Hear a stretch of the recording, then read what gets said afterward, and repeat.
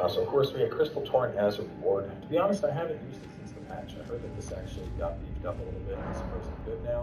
I haven't tried it out there, so I can't speak on it now.